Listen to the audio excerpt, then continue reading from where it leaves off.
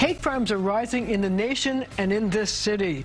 As we mark the one-year anniversary of the death of Michelle Go, pushed to her death in front of an oncoming subway, we're going to examine the causes and possible solutions to this troubling societal problem. The Point starts right now.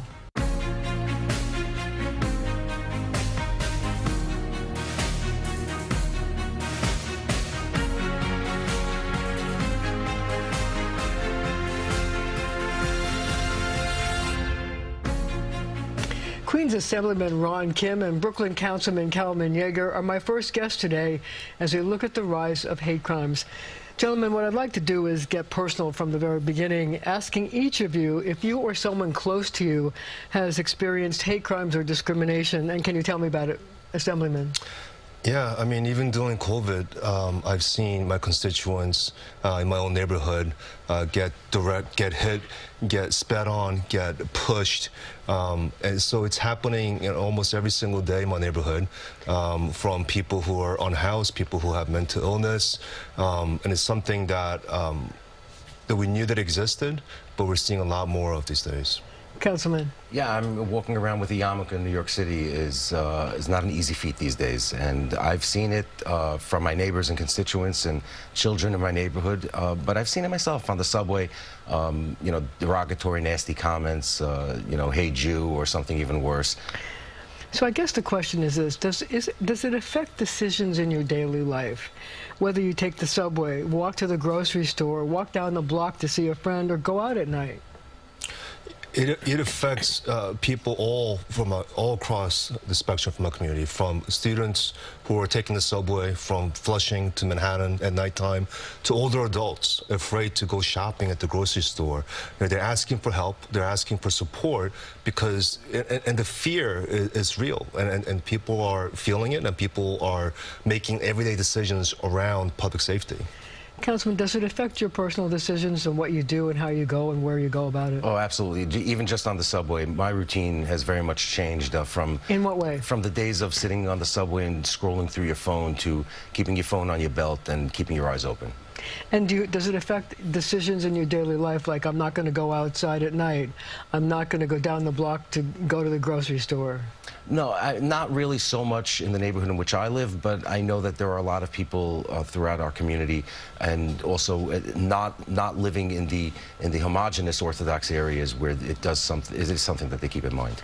I just wonder if the experiences of of hate crime has affected either either of your decisions to decide to get involved in public life. Well, for me, you know, it's not just the physical harm uh, that stems from hate crimes, but it's the economic um, hardships that's also a, a, threat to my constituents. So people are scared economically as well as physically, and that's part of the reason why I joined public service because I wanted to uplift our communities out of economic hardship, which is intimately connected uh, to the to the root of violence and crime in our communities. For me, uh, I've talked about this before. The Crown Heights pogrom changed the direction of my life and propelled me to want to go into public service. What about that pogrom, the Crown Heights thing, drove you to decide to get into public service? Well, I, I, was a teenager when it happened, and we lived in, uh, we still live in Midwood, uh, and I lived in my, my parents' home, and uh, I remember seeing on TV um, and really, my parents, my father uh, and I, we were talking about how this was so close to us, yet so far away, um, and watching it, you know, unfold on TV. A day, two days, three days of Jews being attacked on the streets of New York City, and of course, in the first night, where a Jew was murdered uh, for simply being a Jew. And it's something that this happened, I think, when I was 15 or 16, and it really changed the way uh, I thought about what I would do with my life. So, gentlemen, why do you think there's been an increase in hate crimes over the last several years? I mean, what are there factors that have contributed to this? I mean, I think the hatred and the tensions between Asians and Jews and other communities have always existed, in, especially urban settings like in New York City. But when we have uh, health, economic, and financial meltdowns. Um, all that stuff comes to the surface. People are feeling triggered. People are coming out and targeting their anger and angst and frustration at, at others. And unfortunately, every time we have these uh, meltdowns, Asian Americans and Jewish Americans seem to be the prime targets of, of the hatred. Councilman? I, I, think I think there's been an otherization of our communities, my community, Ron's community, in real ways Um, uh, uh, you know, I can point to examples. For example, But the, why are you the targets? Well, uh, why, why is it just, not just Asians, but if you take a look at the numbers in terms of New York City, Jews are the number one target for hate crimes, followed by uh, gay New Yorkers and Asian New Yorkers, and then after that, um, African American New Yorkers. Well, depending on depending on the period of time that you look, uh, the Asian community, the Orthodox Jewish community, and Jewish community as a whole uh, are, are vying for number one and number two, and it's not a contest we're trying to win either of us. but why? I mean, why are people Well, taking it out on you? I think that some of the language that's been used about our communities, particularly in the last three, four, five years, for example, and a real live example, in, with the Asian community, there's been a conversation going on for the last five years about the specialized uh, tests in the in the high schools, and that conversation, maybe not uh, uh, intended by the people who were leading it, but really became a conversation about those Asian kids are taking your seats in the public schools. And I think that if you look at where the hate crimes uh, against the Asian community started moving up, it was really over the last five, six years.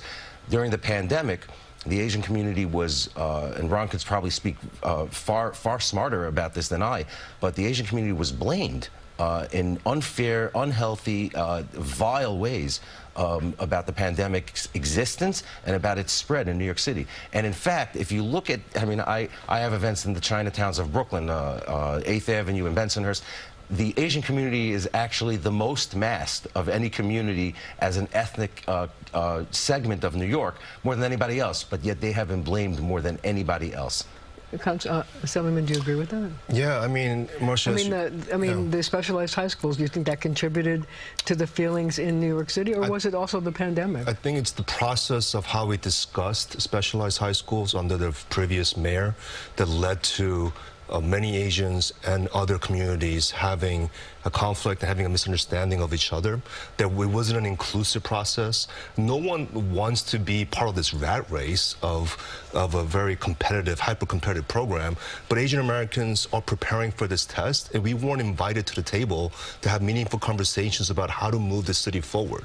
And when you do that, the, the system itself is dehumanizing, uh, growing the fastest growing minority community, and telling other communities this Asian Americans are not part of our ecosystem, and they're perpetuating certain stereotypes, like treating us like foreigners in our own city and in our country when we're trying to contribute and have uh, a positive impact. So, Councilman, when I went out to speak to New Yorkers about why they think there's been this increase, a lot of them said leadership. And I don't know whether they were talking about the leadership in Washington, the leadership in New York City, but do you think that that's a legitimate concern? I do. I think that there are politicians in New York City, in New York State, um, and, and in Washington who have used uh, derogatory language and thoughts uh, to talk about our communities in real ways. In New York, I've seen it. There are people who hold public office, high public office in New York today, uh, who have treated my community in particularly uh, uh, with, with derision, uh, with difference, um, setting us apart and otherizing us. Assemblyman Kim, leadership, is that an issue in terms of why we see so many hate crimes? Yeah, I mean, when when the highest politician in the world comes out and vilifies Asian Americans and called the Chinese flu or China flu, uh, those words matter and, and it has an impact on how people perceive all Asian Americans. Um, so we need to do better with, with language, we need to do better with leadership and making sure that we are part of the process making policy decisions that impact our communities. So you're saying that the pandemic played a role? I think the pandemic lifted the, the band-aid that was put on uh, that existed for many years. Um, there were tensions between communities, and even when I was a kid with, with the LA riots and, and in Brooklyn when we had the, the Korean grocers getting attacked. And we spent years having inter-community development to work together to fix these and put in the hard work. But it takes one president, one language, one thing to trigger uh, the tensions that have existed, and, and, and we have to do a lot more now to rebuild those bridges. Councilman, pandemic, was that a ro- that play a role? Pandemic played a role. Uh, um, a lot of things play a role in it, but it's it's more than that. I think it's uh, uh, there are segments of uh, politics in New York City that are very different from the rest of the politics in the country. And I think that in New York City, you know, I tell I tell people all the time, I don't see MAGA hat wearing people in New York City committing hate crimes. That's not where the hate crimes are coming from. All right, we'll be right back, just with more just coming up.